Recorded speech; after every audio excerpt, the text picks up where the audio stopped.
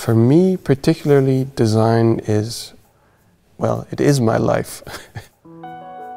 it's a reason to be.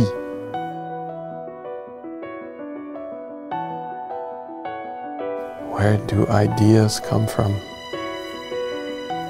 I think every designer tries to make sure that he or she has the chance to, to take things in, almost being like a sponge for, for ideas and input.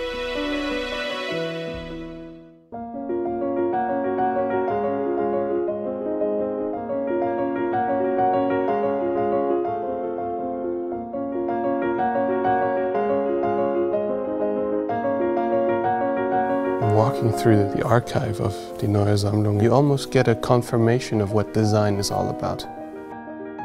Industrial design is about the aesthetics of a, an object that's produced a certain amount of times.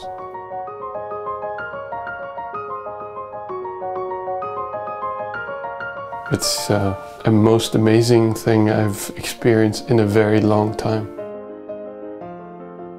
You know, just these products that so many people have at home to see that there's a place for them where they're put in a context where they're sort of brought to the foreground for their their intrinsic qualities is is a real nice kind of show of appreciation for a designer's work.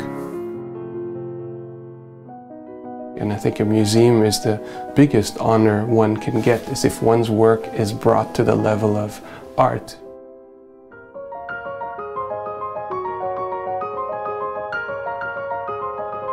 It's made to be used, it's made to be, uh, to be lived in, lived with. Nonetheless, I think, you know, when, when we as designers work on something, we always try to maybe achieve that, that extra level, that sort of soul or depth.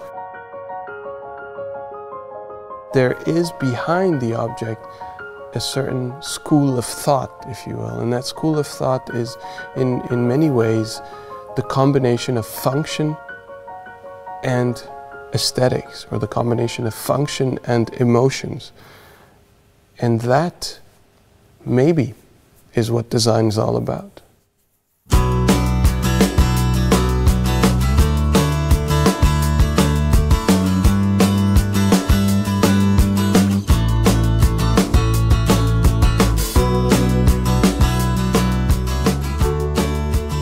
Why do I design?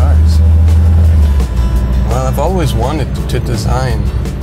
When I first started studying industrial design, I uh, saw what um, the students in industrial in car design were doing, and I thought, that's it, that's for me.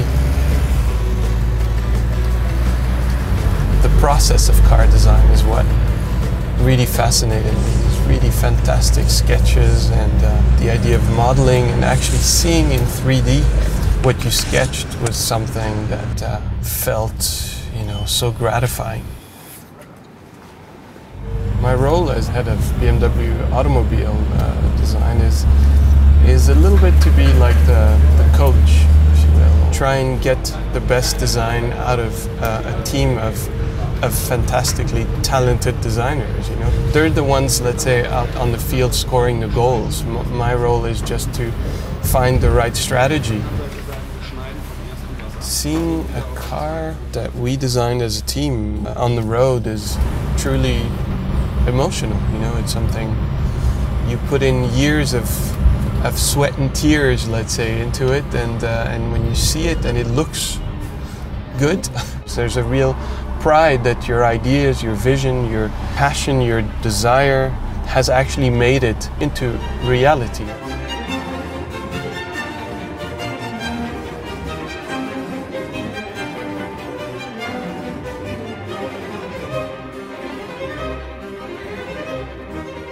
BMW stands in terms of design first and foremost, I think, for precision.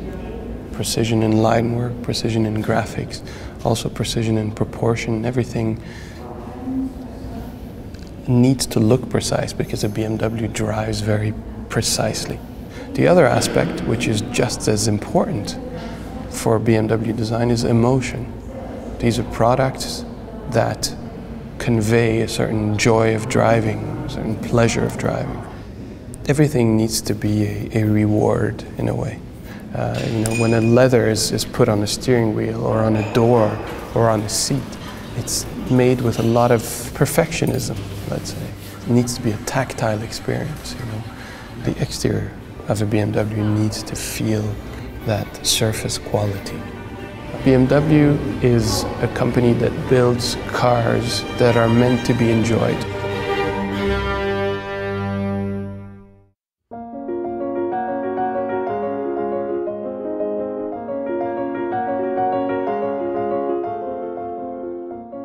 Know if being surrounded by beautiful objects makes you a happier person, but maybe it makes it easier. Good design is, is maybe a, it's not just beauty, it's beauty and function. You want this beautiful object. And then on top of that, it works perfect. And all of that seamlessly improves your life.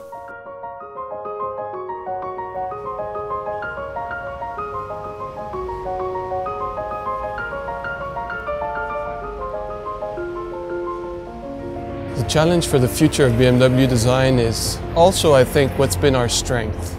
It's authenticity. What we do is trying to bring the values of what BMW stands for to the forefront, to the surface. Dynamic, the values of sportiness, values of elegance. In the future, the values of sustainability, the values of efficiency, the values of responsibility, and our challenge will be to keep those values uh, as essential factors for what design stands for.